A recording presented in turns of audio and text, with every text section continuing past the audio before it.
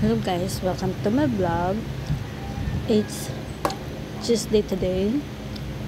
Um, October October 10. Gising tayo, bagong ligo tayo guys. We're doing vlogs. A day in my life. Um, preparing myself before going to work. treasure natin yung moment na nabubuhay pa tayo guys kasi enjoy vlogs. Magpasalamat sa Lord na ginising pa tayo. Sa umaga pa lang. Uh, thank you Lord.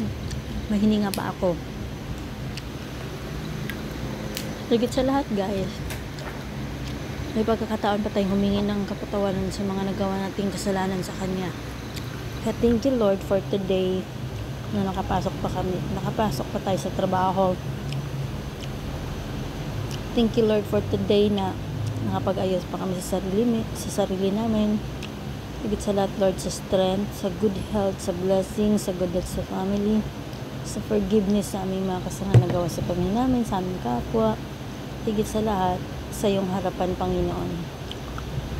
Kaya, sa araw-araw natin ginagawa, laging kasama natin sa Panginoon ang gabay niya at protection dahil malay natin bukas pangalawang araw.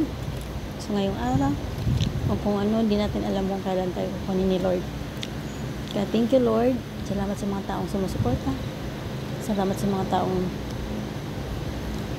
nagkabay tumulong.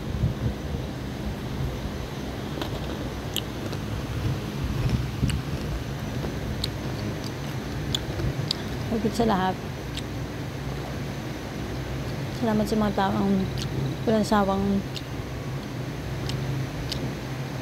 alam niyo yun guys na if yung will ni Lord ibibigay talaga niya. You cannot count the blessings na binigay ni Lord kasi sobra sobra yung pagising pa lang sa umaga. Ayun malaking blessings malaking blessings na yun. Kaya, thank you so much.